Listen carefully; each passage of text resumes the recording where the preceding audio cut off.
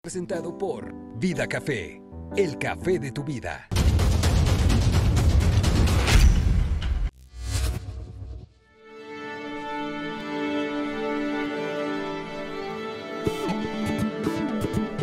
Amigos de Triple R, paisanos de Chicago que nos escuchan a través de la radio pública, paisanos de los clubes de Los Ángeles, de la Federación de Clubes del Sur de Zacatecas, en los que hay mucho fresnillense, mucho club de fresnillense. Hoy platicamos con Javier Torres Rodríguez, Javo, candidato a la presidencia municipal de Fresnillo.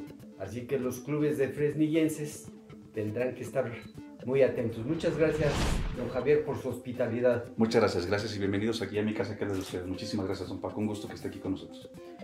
Pues ya empezaron las eh, campañas. Usted ya fue presidente municipal 84 días. de Fresnillo. ¿Cómo ha visto el reencuentro? ¿Qué, ¿Cómo lo ha recibido la gente? Después de dos años, don Paco, después de dos años que yo no estuve ya en la vida pública, en la política, recordará usted que en 2013 me hicieron favor de invitarme a participar, fui diputado local 2013-2016, terminé mi periodo, como la gente lo exigía y lo exige la clase política, de que culminemos nuestros, nuestros periodos. En el 2016 me hizo favor de invitarme José Aro de la Torre a la Secretaría del Ayuntamiento, me retiro por motivos personales, regreso a la Dirección de Desarrollo Económico en un diálogo que tuve y petición del propio Pepe Aro para insertarme nuevamente en la presidencia municipal y cuando él busca la reelección eh, me, me, suma la terna, participo en la terna, me quedo como alcalde 84 días. Diferente completamente, por supuesto, la situación que se vive y se vivía en aquel entonces aquí en Fresnillo, una situación pues complicada, pero Fresnillo de pie, con muchos buenos eh, augurios, con ánimos, la gente muy motivada, propositiva, pero sobre todo con una expectativa muy grande de qué podemos hacer en los próximos tres años para minerar. Dice eh, Claudia Anaya, llegó la hora del cambio. ¿Los fresnillenses quieren un cambio? Sí, por supuesto, don Paco. Creo que le hemos, hemos quedado a deber no únicamente la clase política, sino creo que eh, todo mundo, quienes hemos tenido la posibilidad de estar en la función pública, en el gobierno del Estado, el gobierno federal, a Fresnillo. Hoy desafortunadamente tenemos una suerte muy diferente, ya lo mencionaba hace unos segundos, por el tema del fondo minero. Fito Bonilla, un fresnillense comprometido cuando fue diputado federal de la mano de muchos diputados. Eh, de Mario Fabio. Así es, por supuesto, que fueron los dos eh, eh, promotores, impulsores de esta ley. Le, llaman inclusive la ley Fito. La ley Fito, yo le puse la ley Fito. Así es, efectivamente. Se generó este impuesto donde las compañías mineras en los pueblos mineros dejaran un recurso pues muy importante para el tema de infraestructura. Hoy, en este año 2021, ya no contamos con un solo peso para Fresnillo.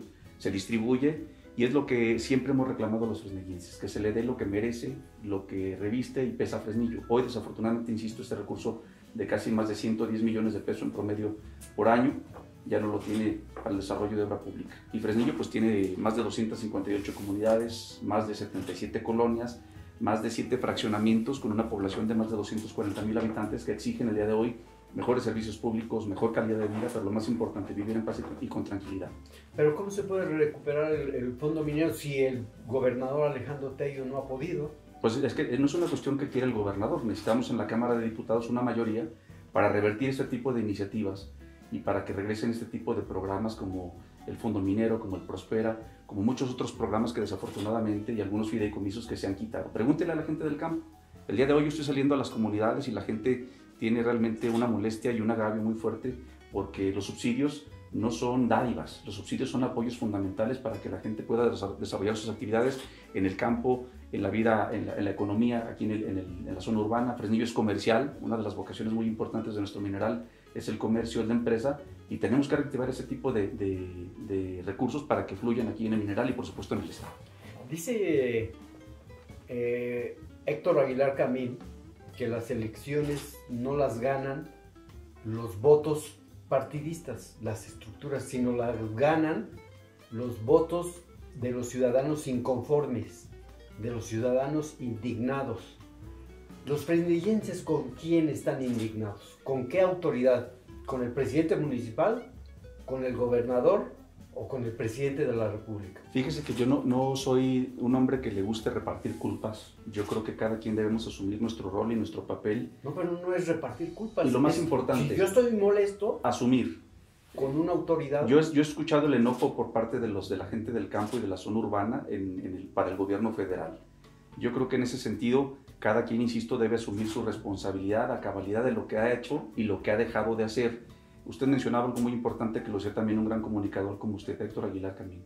La gente da un voto de confianza, la gente también da un voto de castigo y la gente a veces da un voto de rechazo, también hay que decirlo. Y el voto de rechazo no únicamente es en contra de quien está aspirando o quien tenga aparentemente una mayoría o quien hable de encuestas que va arriba, no. El voto de rechazo es no participando. Lo que queremos es que la gente participe este próximo 6 de, de junio, que se vuelquen las urnas. Yo lo he pedido, lo he hecho públicamente en tres entrevistas en estos tres días que tenemos de campaña, que nos dejen a mano limpia, que tengamos propuesta, que la gente tenga una alternativa de saber quién quiere eh, gobernar Fresnillo, qué es lo que trae bajo la, manga, unas bajo la mano, inclusive podemos hacerlo así, y proponer. La gente está cansada de la división, del encono, de la diatriba, de este tipo de, de y de argumentos falsos que crean mesías o reyesuelos. No, la gente quiere ya trabajar. Aquí Fresnillo siempre se ha rascado con sus propias uñas. No tenemos la suerte que cuenta la capital que tiene los tres poderes concentrados, la Universidad Autónoma de Zacatecas. El fresnillense es un hombre y una mujer echado para adelante que con su esfuerzo cotidiano, diario, hace brillar este municipio. Por eso nosotros contribuimos con cerca del 20% del Producto Interno Bruto en, en el Estado. Entonces creo que exigimos también que se nos regrese lo que nosotros aportamos y que tengamos todos los fresnillenses la posibilidad de avanzar. Eso es lo que queremos. La gente de Fresnillo siempre es así. ¿Cuáles serían los principales problemas de, de Fresnillo? ¿Inseguridad? La seguridad, si no contamos con una seguridad y paz social, no podemos avanzar en los demás temas. ¿Desabasto de agua? Hay un problema de desabasto de agua todavía latente, sí señor. Creo que se debe de, de- de- de tener una franca comunión con el gobierno del Estado y el gobierno federal y entrarle de lleno todos y de una manera decisiva y contundente al tema. ¿Desempleo? Eh, si hay desempleo, sí señor. Y si tenemos desempleo, la gente va a insertarse en la delincuencia. Bueno, vamos a, a- a manejar estos tres problemas principales. Para la inseguridad, usted como presidente municipal, ¿qué propone para solucionarlo? Una mayor coordinación, don Paco. Yo propongo una mayor coordinación, que las juntas de coordinación ¿No es local... mejor más policía? Mm, Pues sí, sí, es, la mayor coordinación tiene que ver con estrategia, don Paco. Creo que lo más importante en estos momentos es que vayamos ahora sí en esta, eh, en esta franca comunión que la gente quiere, que la gente nos ha demandado y que Frenillo siempre se ha quedado en la saga, insisto, siempre nos quitan para darle a los demás, que hoy se le ponga particular interés a Fresnillo. Desafortunadamente, somos parte de una estadística donde somos a primer lugar, primer lugar a nivel nacional en tema de percepción de inseguridad. Pero no se trata únicamente de percepción, se trata de lo que vivimos realmente aquí los fresnillenses. Nosotros, mi familia, lo vivimos en carne propia. Yo siendo alcalde 84 días. Por eso me animé a participar, lo he consignado y lo seguiré diciendo. No por un tema de, de ser un hombre que me siente el valiente, no, de ninguna manera. Me lo dijo en una ocasión un comunicador también. Aquí no hay, no hay superhéroes, pero tenemos que entrarle de una manera contundente. Yo propongo a la policía de proximidad que regrese este proyecto, que la gente tenga cercana a la policía preventiva, particularmente en el tema de prevención, en el tema de que estemos salva- salvaguardando su comercio, su negocio, su vivienda, su vehículo, el transitar de los peatones. Queremos hacer eso. Lo que yo le, le hablo en términos de la coordinación es que se vuelquen los ojos del aparato de seguridad concretamente en Fresnillo. Que las cámaras de videovigilancia sirvan efectivamente para que todos estemos transitando y viviendo de una manera tranquila. Y eso tiene que ver, por supuesto, insisto, con coordinación.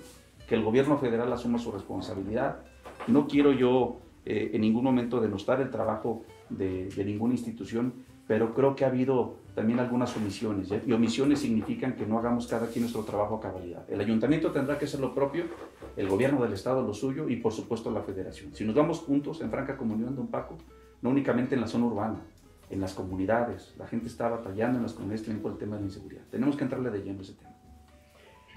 Y es muy complicado. Vimos en, en el C5, en un video del C5, cómo eh, secuestran a los policías de Jerez, la delincuencia organizada. Estaban dos camionetas de la policía municipal y llegaron cinco o seis de la delincuencia organizada eh, camufladas, decía Guardia Nacional, todos traían uniforme traían armas de alto poder. ¿Y, qué hicieron los policías? Pues someterse. Ante ese, es de esa magnitud el problema. No es fácil solucionarlo. Y Fresnillo creo que es, lo está viviendo, la gente lo está padeciendo, esa ferocidad de la delincuencia organizada. Así es, y, creo que en este tema, insisto, que es un tema La cooperación no basta, ¿eh? No basta, hay que tomar medidas. Así es, a eso me refiero con el tema de estrategia, don Paco. De que cada quien asumamos nuestra responsabilidad. El ayuntamiento tendrá que hacer un programa muy agresivo en términos de prevención, de que nosotros mitiguemos el delito del orden común y que lo que le corresponda al Estado de la Federación lo haga cabalidad. Porque usted no le puede decir al policía municipal, si ves una camioneta, te la enfrentas. No nos corresponde. Los detienes. No buscamos enfrentamientos. La gente no quiere eso. Seguramente, pues bueno, yo lo entiendo, la gente lo que solicita a los frenillenses en estos momentos es que le entremos de lleno y de manera contundente. Cuando sucede algo... ¿Qué, ¿qué, orden le, daría usted al policía? Si ves un delincuente, una persona armada, un grupo armado, ¿qué tiene que hacer? Pues él tiene que hacer su trabajo y también, por supuesto, Correr. y las cámaras de videovigilancia. No tenemos los elementos suficientes. Están trabajando ahorita prácticamente en tres turnos, un poco. ¿Qué tenemos que hacer también? fortalecer la policía municipal preventiva, dotándole de mejores herramientas, la capacitación. Ya quitaron el Fortasec, pero ahorita está otro programa, el Fondo de Aportaciones de Seguridad Pública, el FAS. Pues tenemos que ir a tocar las puertas a la federación para ver de qué recursos nos van a hacer llegar al mineral manejarle nosotros a través de un documento con estrategia qué es lo que queremos para Fresnillo y lo que reclama la ciudadanía. Mandar obedeciendo nada más. Yo creo que si tenemos el tema de seguridad atemperado, esto no se va a acabar, ni se va a acabar porque lo dice Javier Torres Rodríguez, Jau, no, no se va a acabar, pero tenemos que contribuir y tenemos que dejar los cimientos para quien, quien nos suceda tenga ya prácticamente eh, una base ya muy sólida para seguir transitando en esta vía. Y hay que quitarle al, a los carteles, a la delincuencia organizada, la materia prima, o, o una de sus materias primas, los jóvenes. Para los jóvenes. Porque los reclutan con 5 mil pesos, 10 mil pesos. Es muy atractivo para un joven desempleado, sin escuela, traer una pistola, traer 10 mil pesos en la bolsa, manejar una camionetota, es muy atractivo para un joven enrolarse en la delincuencia organizada. Porque del otro lado, ¿qué le ofrecemos? Tenemos que ofrecerle oportunidades laborales, don Paco. Centros de esparcimiento, de recreación, entrarle de lleno a un tema también muy contundente que fue una de las propuestas que yo traigo también para Fresnillo, el Centro de Alto Rendimiento para el Deporte, nuestros jóvenes cuando van a participar a otras, a, otros, a otras latitudes a nivel regional, nacional, internacional. Tenemos aquí en Fresnillo un semillero muy importante en materia deportiva, donde desafortunadamente no se le ha dado un impacto y un impulso como debe de ser. Yo estoy proponiendo precisamente ello, que los jóvenes tengan otro tipo de alternativa. Yo no me quiero meter con cárteles, yo no me quiero meter en camisa de once varas porque tengo familia, porque también aquí en Fresnillo, yo como, como ciudadano, yo también tengo miedo, por supuesto, y tengo miedo de que le suceda algo a mis hijos. Pero ¿sabe qué me da más miedo? Que mis hijos se pudieran enrolar en esto. Entonces, ¿qué tengo que hacer? Procurarlos, brindarles las facilidades para que ellos eh, vayan a estudiar. Pero lo más importante, creo que tenemos que brindarles las condiciones, sociedad y gobierno, para que nuestros jóvenes no vean en esa puerta falsa una posibilidad de insertarse en una vida productiva. Eso no es productivo. No hay un caso de éxito en, ese sentido. Pero tenemos que hacer trabajo, don Paco. Vamos a picar eh, piedra, vamos a tocar puertas y creo que la gente de Fresnillo, son más los buenos que viven aquí en Fresnillo que nos puedan ayudar a hacer un Fresnillo mejor en esa materia. Y para que tengan trabajo, ¿qué puede hacer el municipio? No puede ser contratador. No, por supuesto que no. Pero tiene que dar facilidades para que vengan empresas. Eso es lo que eso usted ha dado, ha dado en el punto, facilitadores. Eh, en la presidencia municipal, cuando estuvimos José Aro de la Torre, su servidor Pepe Aro fue un impulsor precisamente en esta materia con una muy buena relación. Ustedes saben el, el nivel de inversión que viene para Fresnillo en materia de minería que ha proliferado y ha crecido de una manera sustancial en el mineral, de una manera muy considerable con el proyecto del Saucito y con el proyecto que viene también este, Juanicipio, que se está desarrollando un complejo completamente diferente a lo que hemos visto aquí en el mineral y que está generando empleos, riqueza, por un lado. Por otro lado, se montó la plaza comercial El, Portal del 2016 al 2018, con inversión cerca de los mil millones de pesos. ¿Qué tenemos que hacer? Pues buscar precisamente esas facilidades otorgándoselas a, los empresarios que se encuentran fuera. Pero lo más importante, don Paco, blindando lo nuestro, lo local, dándoles mayores facilidades, apoyándolos con la cuestión de, de ver dónde podemos sacar recursos, dónde podemos buscar fuentes de financiamiento para fortalecer el mercado interno y que por supuesto nuestros empresarios tengan esa vía de estar generando esa posibilidad. Reinversión es lo que ocupamos aquí en Fresnillo. Insisto, Fresnillo se rasca con sus propias uñas, pero el día de hoy si no le tenemos y le brindamos seguridad a los empresarios y a la gente que invierte, no lo vamos a lograr. Ahora que habla usted de José Aro, Pepe Aro de la Torre, ¿cómo está su partido? ¿Lo están apoyando?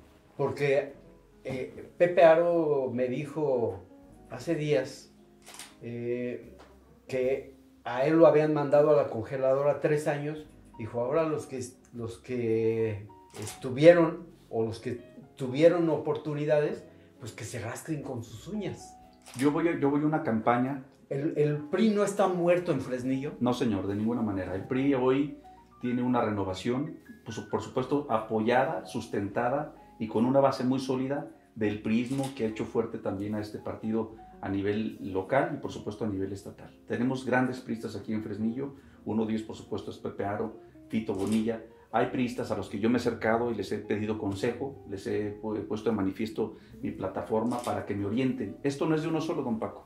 Y también hay que decirlo, sí, el partido, las siglas del partido es el vehículo, pero también tiene que, que, que ver el personaje. Pero lo más importante, la propuesta. Y mi propuesta ha sido fincada precisamente en estos personajes que me pueden ayudar y que si en algún momento en sus administraciones se quedó eh, algún pendiente, yo pueda desarrollarlo, asumir esa posibilidad. Cuando yo fui diputado local, Raúl Ulloa, y tengo que mencionarlo, soy un hombre agradecido y la gente bien nacida, por supuesto, es agradecida. Raúl Ulloa, cuando fue aspirante a la diputación local de Distrito 11 por el Partido del Trabajo, que iba contra el señor Enrique Laviada, llevaba bajo su, bajo su, eh, hombro, eh, bajo sus brazos, llevaba una propuesta de la Casa del Estudiante yo le pedí, fue una buena iniciativa, le pedí yo desarrollarla. Yo monté la Casa del Estudiante dos años y seis meses cuando fui diputado local y le permití a jóvenes con recursos de la ciudadanía que nos daba la legislatura para gestión que vinieran a estudiar de comunidades. 106 jóvenes en promedio estaban en la Casa del Estudiante. Entonces, esas iniciativas, por supuesto, vienen de ciudadanos y gente de la clase política. Así estoy robusteciendo mi propuesta, escuchando a la gente. La voz de la ciudadanía es mi propuesta pues no son pocos en su partido los que piensan que en Fresnillo el PRI está desmantelado y que les costó mucho trabajo encontrar candidatos y que a usted lo, lo metieran en una trampa. Pues no, yo no lo veo así.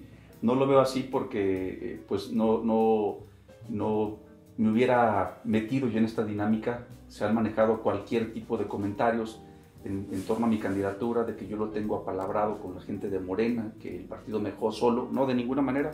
Yo estoy contento, estoy contento porque estoy haciendo una campaña vía tierra, estoy yéndome con mi familia a las casas, a las comunidades, con el equipo de trabajo, que es un equipo de trabajo pues muy reducido a lo que habitualmente se hace en la campaña política. La gente ya no quiere el dispendio, ver eh, una gran cantidad de 10 camionetas acompañando a un candidato, el, frenillo atiborrado de espectaculares con la imagen de una persona. No, tiene que prevalecer la propuesta. Creo que hay condiciones. Lo creo firmemente porque la gente de Fresnillo me lo ha manifestado. Si yo no hubiera esas condiciones, don Paco no me hubiera metido. Lo que no hay es condiciones sanitarias para hacer una comunicación más directa con la gente. Así es, pero hemos sido respetuosos en el marco de que nos rige precisamente la autoridad de, de salud en el Estado, en la Federación, donde nos están pidiendo que hagamos eventos no multitudinarios. La verdad las cosas que en el arranque de campaña pues les pedíamos a la gente que guardara su sana distancia. Hay gente que se desborda, que quiere platicar con el candidato. Nuestro evento, donde vino Claudia Naya, que es una mujer comprometida con Fresnillo, ha estado en estos días, en este arranque, ya dos veces aquí en Fresnillo haciendo propuesta, visitando sectores, comunidades.